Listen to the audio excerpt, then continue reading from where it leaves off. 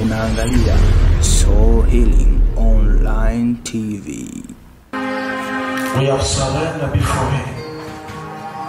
To raise your hand is a sign to tell Jesus that I have nothing I can do without you. Mikono yako, Yesu kwamba kwako na sina kitu naweza kufanya bila wewe, na bila Yesu hakuna kitu tunachoweza kufanya. Tunamhitaji yeye katika mambo yote ili atupe neema atupe kibali na atuwezeshe. Tunahitaji nguvu ya yesu. Tunahitaji neema ya damu ya yesu. Katika mambo yetu yote we need jesus. Na mkono yako namwambia bwana najiunganisha na ibada hii leo nitakuwa na ibada za aina mbili. Nitakuwa na ibada ya neno la mungu ambayo inaanza sasa hivi. Na baada ya saa moja utakuwa na ibada ya hili ibada ya uponyaji. Deliverance and healing. Chochote ambacho kwenye mwili wako leo kitaondoka. Baada ya uponyaji. Baada hii ya kwanza itakuwa ni kufundisha neno la mungu. Alafu baada ya muda saa moja itakuwa ni ibada ya hili uponyaji ibada ya uponyaji sema bwana yesu najiunganisha najiunganisha kiti chako. Mwambie bwana najiunganisha sasa nataka uingie roho. Nataka uingie roho sasa. Na umwambie mungu najiunganisha mwambie bwana najikonekti na ibada hii ya mafundisho. Roho yako mtakatifu anipe revelation. Anipe ufunguo kulielewa neno lako nilipokea neno lako si kwa kawaida lakini bwana pia unisaidie katika imani ya uponyaji. The healing service. Katika imani hiyo ya uponyaji bwana mkono wako ukaniguse niweze kupona na kuwa mzima fungua chako zungumza wanangu waanze kuwa roho sio kila saa tuwakae kuja mbwembwembwe lakini saa kama hizi mwingie roho kutana na yesu mwenyewe mwambie bwana najiunganisha na ibada ya mafundisho neno nipe revelation nipe ufunuo kuelewa na kupokea kila mtumishi wako atakachoachilia hapa atakachofundisha hapa kitanifungue ufahamu kitanifungue ufahamu kitanifungue akili kitanifungue akili yangu kitanifungue ufahamu wangu nina ufahamu pana kuhusu Mungu, nina ufahamu pana kuhusu Mungu, na baadaye katika ibada ya uponyaji neema zako zipita na kunigusa na mimi, uniponye na mimi Bwana, katika ibada hii nahitaji uponyaji. Sema Bwana Yesu, sante kwa neno lako, mtumishi wako Bwana anapoliachilia kwangu, ninaomba Yesu ninaomba Yesu ukanipe ufunuo utakaofungua ufahamu wangu. Neno lako ni ufunguo wa fahamu zangu, wa akili zangu, wa mawazo yangu. Kupitia neno lako ufahamu wangu ufunguke. Shika kichwa chako, sema kupitia neno lako Bwana, ufahamu wangu ufunguke, uelewa wangu uongezeke. Nikujue wewe zaidi, nipokee maarifa ya mbinguni,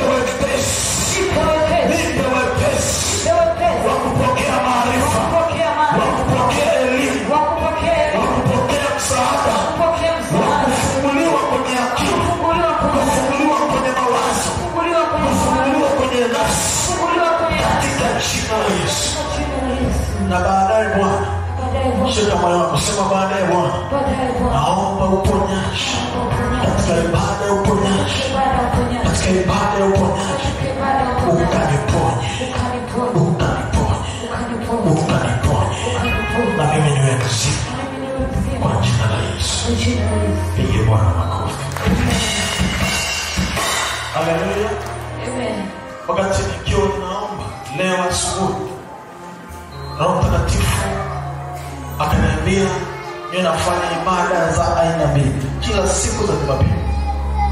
Haleluya. Kwa nini kuna watu mungu anataka tukuwahudumia zaidi? Huwa tumekuwa tukifanya tu ibada ambayo ni ya mafundisho na kuombea watu wanaondoka.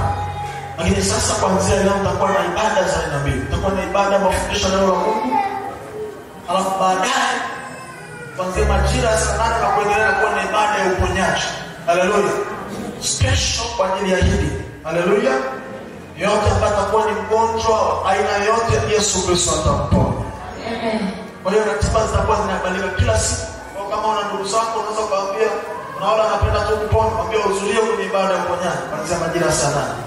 Ili kuanzia majira ya saa tano mpaka saa saba hapo na nusu baada ya neno la mungu mafundisho na vitu vingine. Amen?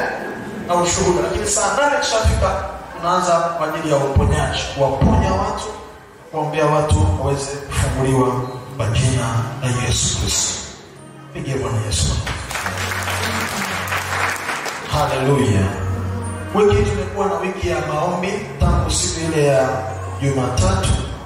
Tumekuwa na maombi mfululizo wiki nzima. Na nashukuru wale watu ambao wamekuwa wakihudhuria. Nashukuru sana kwa wale ambao wamekuwa wamejitahidi kuja kuomba. Nilisema mwaka huu lazima tumalize kwa neema ya mungu jitahidi sana kutafuta uso wa mungu ili ya kwamba mungu akupe ushinda wiki hii inaanza kesho tunaendelea na maombi hayo tena. Tutafanya kwa wiki mbili yaani wiki iliyopita na wiki hii inaanza kesho. Tutaendelea na maombi hayo mpaka jumapili tena kama leo. Tutakuwa tunahitimisha na siku hiyo tunahitimisha tutafanya na tutafanya ibada ya utukufu ibada ya, ya, ya, ya kumtukuza mungu kwa ajili ya kujibu maombi yetu kwamba tutavuka kwa ushindi na tutavuka tukiwa na baraka zetu. Sema amen. Kwa hiyo naomba wale ambao wamekuwa wakihudhuria wale ambao kuhudhuria wiki hii jitahidi wiki hii hudhuria tumekuwa hapa asubuhi mpaka jioni tukiomba. Nashukuru wale wamama ambao wamekuwa wakija na hata wale wababa ambao wamekuja. Kwanzia asubuhi mpaka jioni ikifika saa kumi tunaanza mafundisho. Lakini asubuhi mpaka saa tisa tunakuwa na maombi watu wote wanaomba. Saa kumi mafundisho yanaanza mpaka saa kumi na mbili na nusu. Bwana Yesu asifiwe sana siku ya kesho usisahau saa moja mpaka saa mbili kamili. Usisahau clinical spiritual clinic kuanzia saa moja mpaka saa mbili usiku kesho. Jitahidi usikose. Mungu awabariki wale ambao jumatatu walikuja. Nguvu za roho mtakatifu zilishuka hapa. Tulikuja kwa ajili ya kufundisha na kuachilia uh, uh, arise anointing oil. Lakini tulifeli kwa sababu roho mtakatifu alishuka watu walikuwa wamejaa nguvu hapa e, tulikuta tu saa tumefika. Haleluya Mefikaje atujui kwa sababu neema ilishuka yenyewe. Amen? Ninaomba pia hiyo neema itakusaidia. Usifikiri kama ni bure. Eh? ukiona mtu anapokea nguvu za mungu usifikiri ni bure. Zitakusaidia mahali. Amewekeza. Amen? Kwa hiyo kesho saa moja mpaka saa mbili naomba jitahidi kuhudhuria ibada hiyo na utamwona mungu sana sana sana. Amen usikose usikose kabisa. Sasa nataka nikupe neno la mungu mahali ulipo. Chukua daftari yako kalamu yako na biblia yako. Kama unaandika sasa andika kwenye kichwa cha habari kwamba kumtumikia mungu kwa viwango vingine. Kuna kumtumikia mungu lakini kuna kumtumikia kwa viwango vingine tunamtumikiaga siku zote. Tunafanyaga kazi yake siku zote. Yaani kunakuifanya kazi yake kwa viwango vingine yaani kwa zaidi deeply ndani zaidi. Siku zote huwa unaomba yaani kuna kuomba kwa viwango zaidi. Siku zote huwa unatoa yaani kuna kutoa kwa viwango zaidi katika unyenyekevu. Mara nyingi wakristo wanashindwa kuzipokea baraka za mungu kwa sababu hata katika kumtumikia kwa mungu wanamtumikia kwa kiburi. Hawamtumikii kwa unyenyekevu. Hata kwa kumtolea kwao mungu wanamtolea mungu kwa kiburi si katika unyenyekevu. Hata katika kuomba kwao wanaomba lakini kwa kiburi. Wanaimba lakini kwa kiburi. Sasa kuna kumtumikia mungu kwa kiwango zaidi katika hali ya kunyenyekea bila kubishana bila manunguniko bila malipo bila kusubiri asante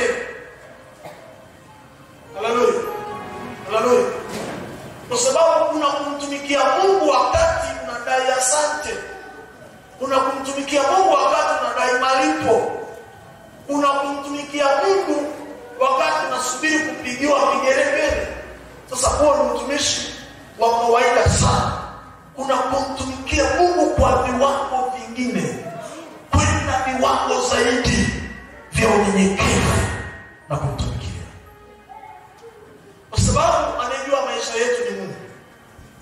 anayepanga baraka zetu ni mungu. Anayepanga kesho yetu ni mungu si mwanadamu. Yoyote unayemwona katika macho ya damu na nyama yoyote unayemwona katika macho ya damu na nyama hawezi kuchangia hata asilimia chache katika mema ambayo mungu atakuridhisha. Hapana wewe mwenyewe ndio unayechangia katika baraka au katika mema ambayo mungu anakuridhisha sameme sasa tumekuwa tukimtumikia mungu. Ni kweli tunamtumikiaga mungu. Sikatai kabisa mama zako, ni kweli unamtumikia mungu. Mwambie tena ni kweli unafanya kazi ya mungu. Atukatai kabisa. Mwambie lakini sasa tunataka uongezeke. Na ili uongezeke lazima umtumikie kwa viwango vingine zaidi unyenyekevu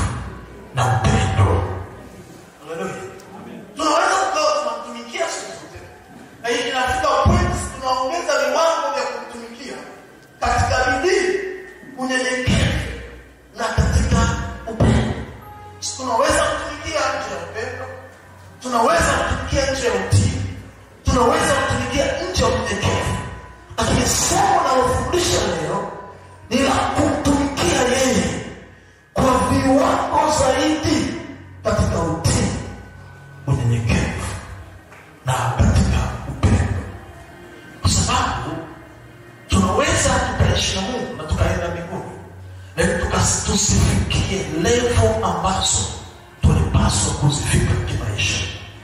Swala la kumtumikia mungu katika utii unyenyekevu na upendo linakusaidia katika maisha yako ili ya kwamba mungu akufikishe kwenye baraka ambazo aliziandaa kwa ajili yako kila mwanadamu chini ya jua kuna baraka ambazo mungu ameziandaa kwa ajili yake. Unapomtumikia mungu kwa moyo wako wote unaruhusu maisha yako yapelekwe mbele na mungu. Unaruhusu maisha yako yasogezwe mbele na mungu. Unapomtumikia mungu katika utii na unyenyekevu bila manunguniko bila kulalamika bila kuangalia ni mangapi umefanya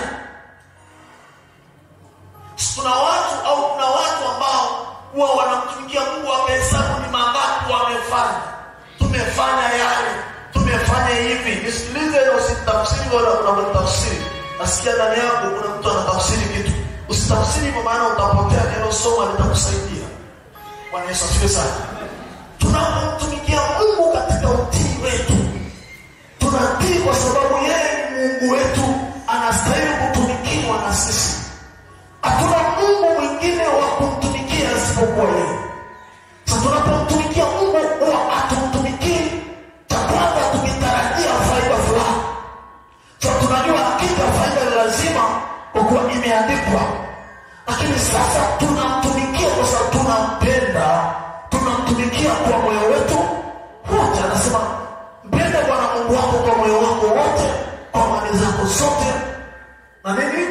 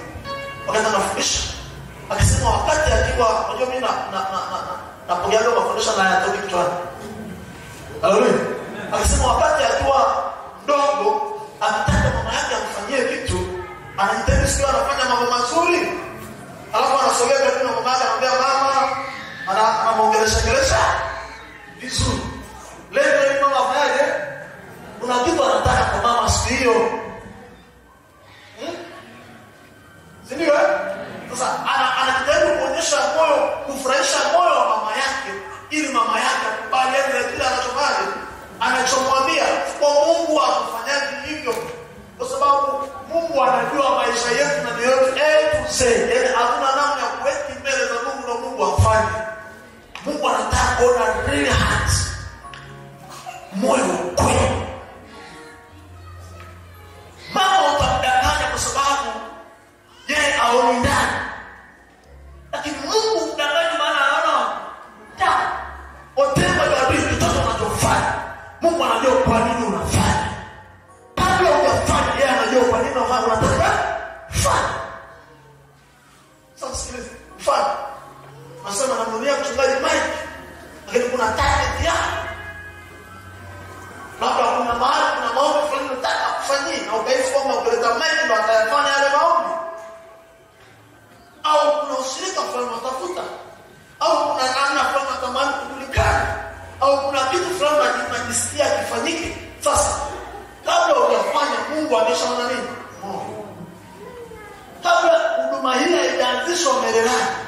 mungu alishaona nia ya huduma ni nini. Kinachobebaka kitu ni nia ya hicho kitu. Nia inabeba nini? Kama huduma ilianzishwa kwa msingi fulani apate maisha ile nia ilikuwa ni kupata maisha na sio roho sawa. Kwa automatic mungu hawezi kusapoti nia ambayo sio njema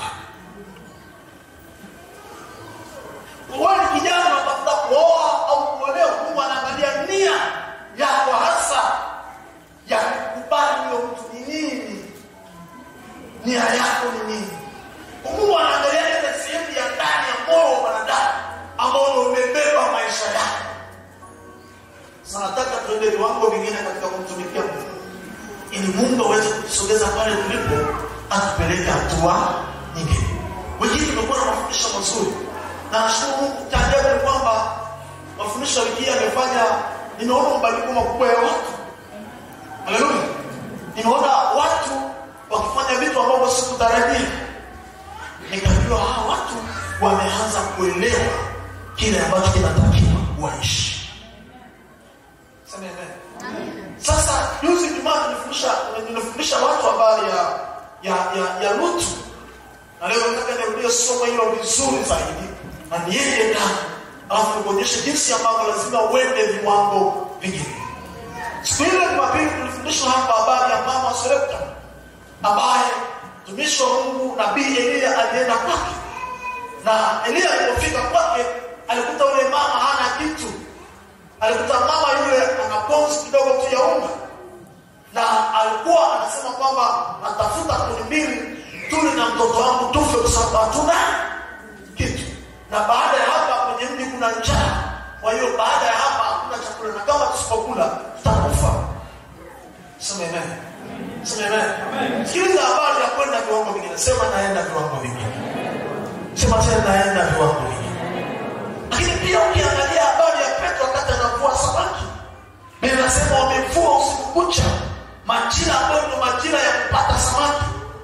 Umefanya kazi ule muda ambao unajua ndio muda nyeti kabisa ndio muda wa wateja. Nataka nikuonyeshe nguvu ya mungu ilivyo. Nguvu ya mungu haitegemei majira ya wateja. Majira ya mungu hayategemei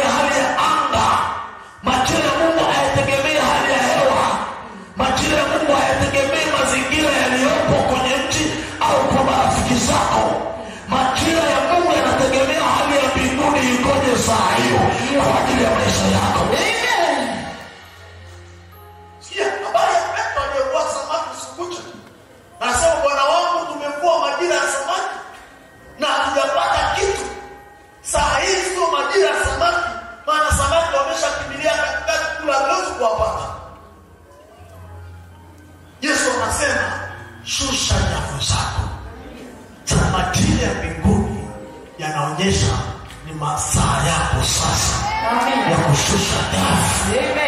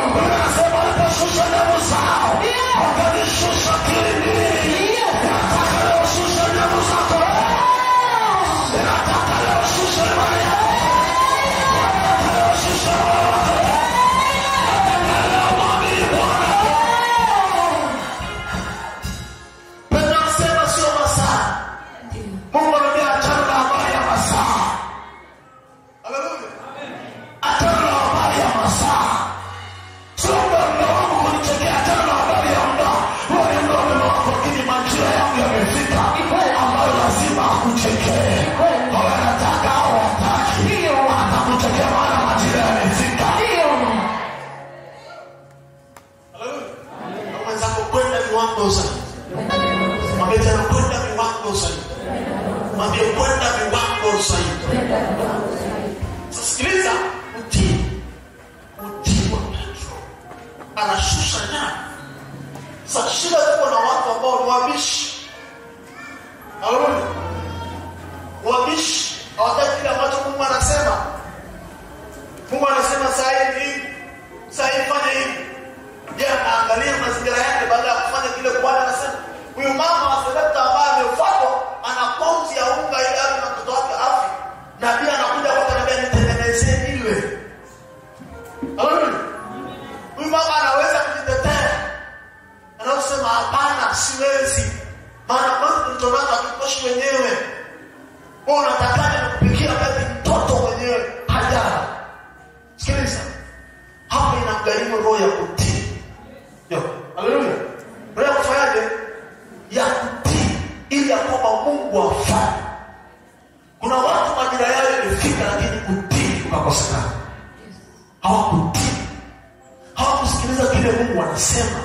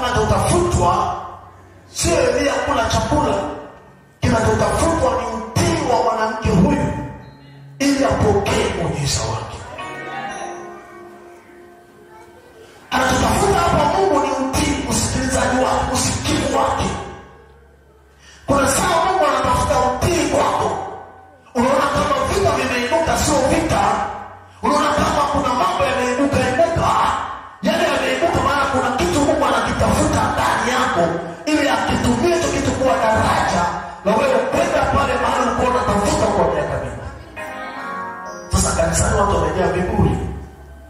Wanataka wafanye hesabu ministry wanataka wafanye vile ndani yao wanaposikia wao sio vile mungu anasikia. Wanataka uwapeleke vile wao wanataka sio vile mungu anakuongoza kuwaongoza.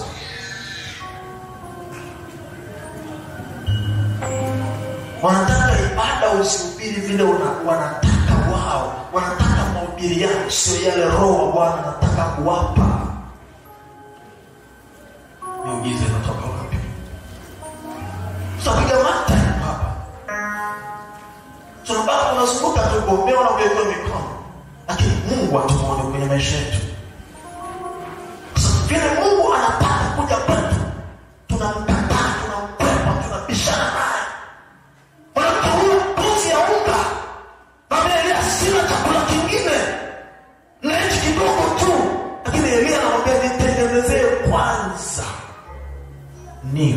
Anatengeneza na adui, kesho itakuwa anatengeneza na adui, ataishi. Anatengeneza na adui, eh, hapo yeye atakula nini? Anafanya kile Mungu anataka. Sikiliza nakwambia, hata ukiendelea kuishi, lakini nje ya vile Mungu anataka, maisha yako ni hasara tu. Mwanamke akiona hata nikile chakula na kufa tu, bora nifanye kile Mungu anasema, aidha kinaweza kikaniokoa au hata kisiponiokoa, kwa nimemfuata Yesu. Haleluya! Nafanya kile Mungu anataka, kinaweza kikaniokoa, na hata hivyo kisiponiokoa, bado nitakuwa nimemtii nani? Mungu. Na kama ni wakati wangu wa kufa, basi najua njia yangu itakuwa salama. Sema amen. Sema amen. Sasa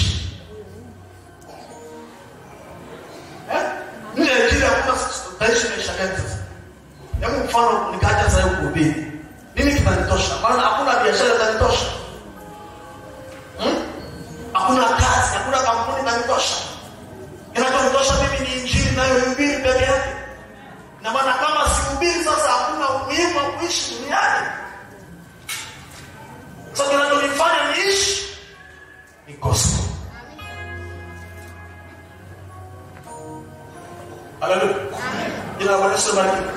Sasa hebu twende kwenye kitabu kile cha Mwanzo, Mwanzo 19 tulijifunza siku ya Ijumaa kiasi kidogo, kile nataka niende deeply ndani zaidi. Naomba nisikilize kwa makini, kwa sababu kuna point nataka uipokee hapa, ili kusaidia na kuvusha wewe na watoto wako. Nataka ujifunze kuheshimu madhabahu ya Mungu na ujue kwamba Mungu anapoileta madhabahu kwako, kwa sababu anataka mambo yako yabadilike, anataka maisha yako yabadilike, anataka uchumi wako ubadilike. Inasema ya kwamba watu wanapokuwa kanisani wakitaka kwenda viwango vingine vya kimaisha, maana yake kiuchumi, kibiashara, kimafanikio, lazima pia utoaji wao uwe ni utoaji wa viwango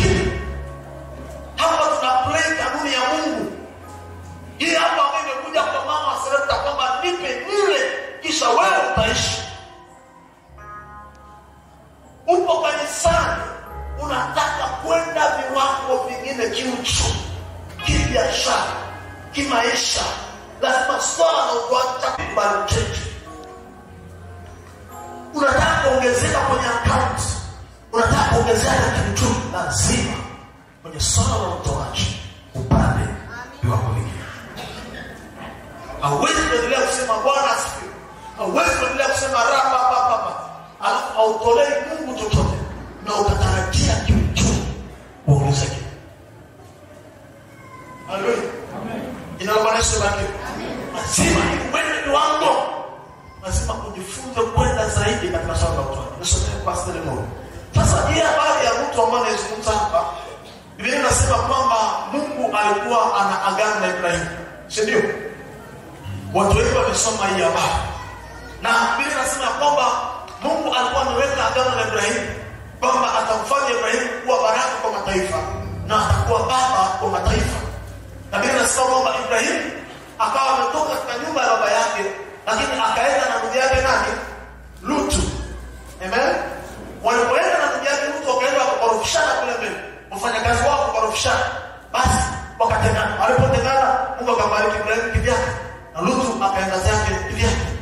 kule sodoma. Bwana yesu asifiwe. Lakini sasa ndio ndugu bado anabaki ndugu si ndio? Haleluya. Ndugu anabaki nani? Kwa mwenzako ndugu anabaki ndugu. Mwambie tena ndugu atabaki ndugu. Waheshimu ndugu zako. Wapende ndugu zako. Usimtenganishe mtu na ndugu zake. Ndugu ni ndugu tu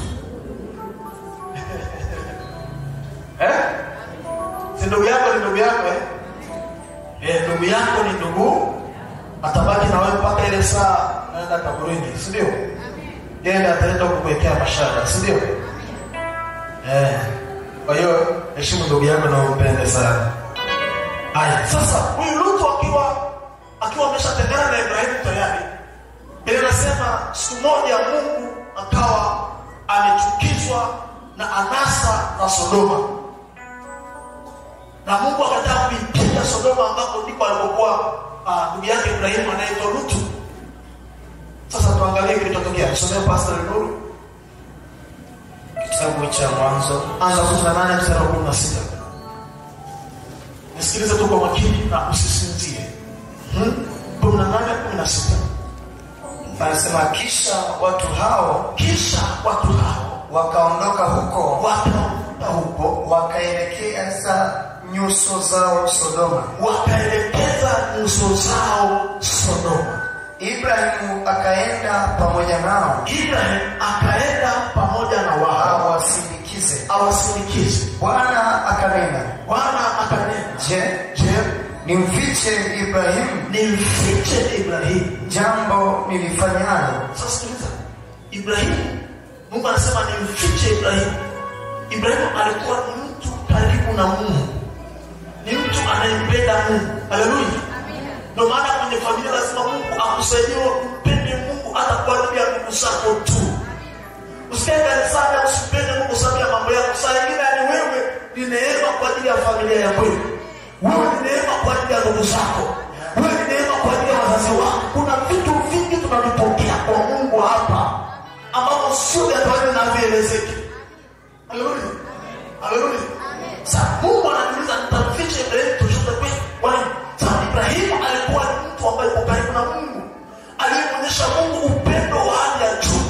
Kwa sababu Biblia inasema mungu alimwambia ibrahimu nitolee mwanao isaka kama sadaka ya kuteketezwa. Ibrahimu wakati huo hana mtoto mwingine yoyote.